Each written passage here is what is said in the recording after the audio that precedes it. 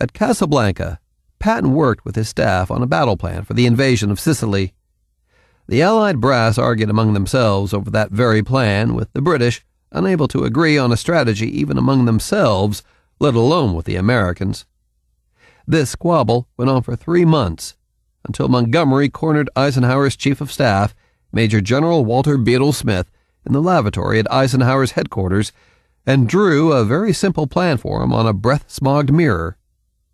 Montgomery's Eighth Army would land on the east side of the island's southeastern tip around Syracuse and head north. Patton's Seventh Army would land on the west side of the island's southeastern tip around Gela and proceed north. Montgomery would spearhead the main assault. Patton would protect his flank. When Montgomery's plan was accepted, Patton did not relish being cast in a supporting role, but he kept his own counsel, glad to lead the entire Seventh Army, and already visualizing a means by which he could not only upstage Montgomery, but also effectively steal the whole show. And that is what happened. Both armies invaded in the pre dawn hours of July 10, 1943. Montgomery's Eighth Army landed with relatively light resistance. The next day, the fighting intensified. Along the Eastern Coast Road and inland as far as the main highway, which lay to the west of the Eastern Coastal Road and ran roughly down the center of the island, the Germans and Italians fought gallantly. The Eighth Army had to scratch and claw for every mile advanced. The amphibious landing was not so easy for Patton's Seventh Army as it had been for Montgomery's Eighth Army. High winds and rough seas disrupted the flow of the landing for the Americans but after intense naval bombardment succeeded in subduing the German and Italian onshore artillery installations, the 7th was able to get ashore and establish a beachhead at Gela. The next day, just as for the British to the east, the German and Italian resistance intensified. Amid the fierce fighting that day, Patton and his key aides left their quarters on the Monrovia, came ashore, and drove directly to Gela.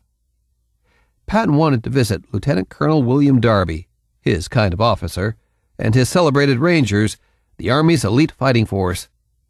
Just as Patton arrived, the Germans and Italians unleashed a fierce counteroffensive. Patton swung into action. He mixed with the troops and rallied and exhorted them, roaring encouragement and snapping off commands. At one point, he helped load and fire mortar rounds.